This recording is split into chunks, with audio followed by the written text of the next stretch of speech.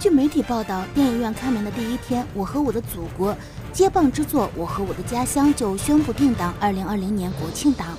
定档海报中，祖国千里江山秀美壮阔，九位导演踏步而来，九曲归乡。据了解，此电影由张艺谋担任总监制，宁浩担任总导演，张一白担任总策划，宁浩、徐峥、陈思诚、闫飞搭档彭大魔，邓超搭档于白眉，分别执导五个故事。电影《我和我的家乡》导演阵容堪称中国喜剧梦之队，此番合力为全民送来欢乐。